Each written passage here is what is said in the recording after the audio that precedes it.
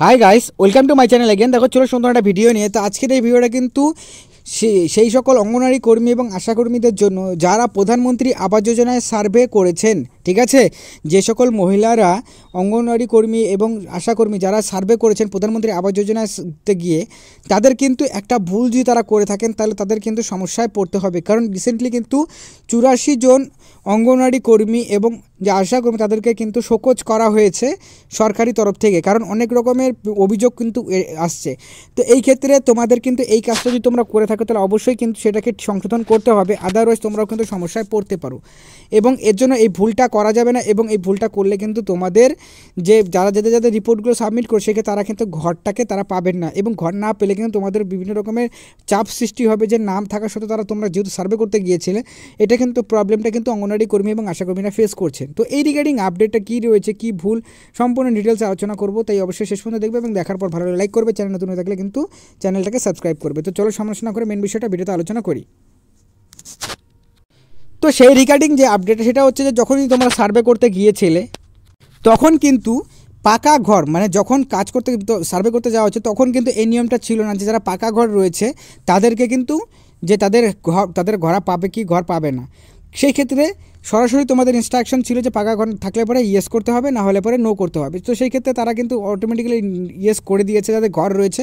But পরবর্তী সময় এই রিপোর্টে কিন্তু চেঞ্জেস আসে, যেখানে বলা হয় পাকা ঘর থাকলে পরেও দেওয়া হবে। শুধুমাত্র ছাদের ঘর থাকলে তাদেরকে কিন্তু দেওয়া হবে না। সেই ক্ষেত্রে প্রথমে যে রিপোর্টগুলো সাবমিট হয়েছে, সেখানে যদি তোমাদের তরফ থেকে যারা তোমরা সার্ভে করেছিলে, তোমরা যদি সেটাকে ভুলটাকে সংশোধন না করো, ঠিক আছে? তো সেই ক্ষেত্রে কিন্তু আবার সেইখানে প্রবলেম হতে পারে বা সেটা কিন্তু টেকনিক্যালি সেই ঘরটা কিন্তু তারা না পেতে এবং সেখানে কিন্তু বাতিল হয়ে যেতে পারে। এই ক্ষেত্রে তাহলে প্রবলেম হতে পারে।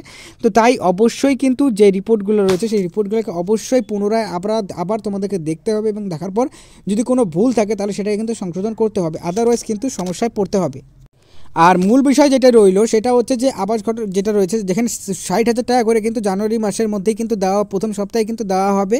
তো তাই এরকম ভুল যদি করে থাকেন, তাহলে পরে এটাই কিন্তু অবশ্যই সংশোধন করতে হবে। না হলে পরে কিন্তু কেউই কিন্তু প্রথম কিস্তির যে ষাট হাজার টাকা সেই টাকাটা কিন্তু পাবে না। এবং আরেকটা মেন বিষয় রয়েছে যে, যা অনেকে আছে যারা ঘর পাওয়ার যোগ্য, অথচ তাদের কিন্তু লিস্টে নামই নেই। সেই ক্ষেত্রেও কিন্তু অনেক সমস্যা হতে পড়তে হচ্ছে অঙ্গনারী আশাকর্মীদের। কারণ তাদেরই কিন্তু সার্ভেটা করতে হচ্ছে। তো সার্ভে রিপোর্টটা যখনই করা হবে, যদি তারা এলিজেবল হয়, তাহলে কিন্তু তাদেরটাকে করতে হবেই অবশ্যই করতে হবে। আর না হলে করে যদি যদি কোনো রকম মিস্টেক করা হয় বা কোনো রকম কারণবশত সেটাকে না করে দেওয়া হয় বা রিজেক্ট করে দেওয়া হয়, তাহলে পরে কিন্তু পরবর্তী সময় এটা প্রবলেম হবে। কারণ আবার সার্ভে ডবল সার্ভে কিন্তু করা হবে। সেই ক্ষেত্রে যে রিপোর্টটা আশা বা অঙ্গনারী কর্মীরা সাবমিট করেছেন, সেই রিপোর্টের সাথে যদি সেটা ম্যাচ না করে, তাহলে পরে কিন্তু সেই অঙ্গনারী এবং আশা কর্মীদের কিন্তু সরকারিভাবে শোকজ করা হতে পারে। কারণ এই রিপোর্ট শোকজ করার রিপোর্ট কিন্তু অলরেডি কিন্তু এসছে, যেখানে চুরাশি জন অঙ্গনওয়াড়ি এবং আশা কর্মীদের কিন্তু শোকজ করা হয়েছে। তো আশা করি বুঝতে পারলে, তো এরকম ভুল হয়ে থাকলে অবশ্যই সংশোধন করে নেবে। এবং এটাই ছিল এই ভিডিওতে আপডেটটা so thanks for watching my video